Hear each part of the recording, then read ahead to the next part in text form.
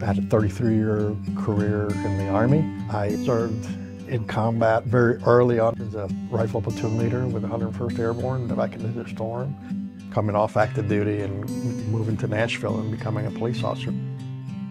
Two careers that have things that mean more than just me. My dad is a Vietnam veteran. Him and his brother were drafted at the same time, but the Army has a sole survivors policy, which means they didn't want to take both from the family. So he tells his brother, you go home, I'll be the one that stays. Like we were needed, we were there. When freedom called, we answered, we were there. So that applied to me. For him,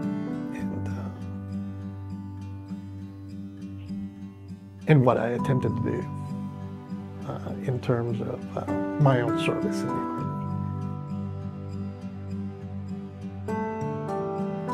My time as an infantry soldier was, to me,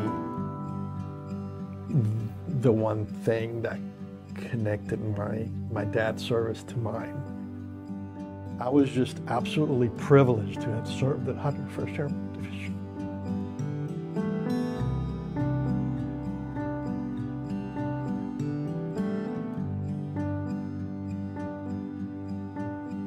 In 2019, I was getting ready to retire. I was buying the boat.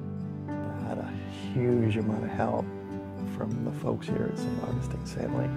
And, um, you know, working here gave me a little bit of opportunity to sort of, you know, help out with some of the things that needed to happen to the boat in order to get it ready to go.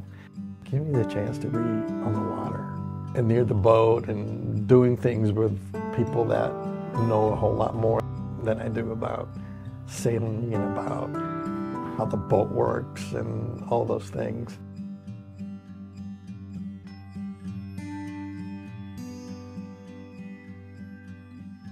Trying to figure out what I wanted to name the boat. And, you know, I grew up in Puerto Rico, I, uh, so I, I thought of some character in Spanish literature that I could pull Rendezvous with Destiny just sort of rang a bell. And uh, I figured if that boat was going to take me anywhere, that was a good name for it.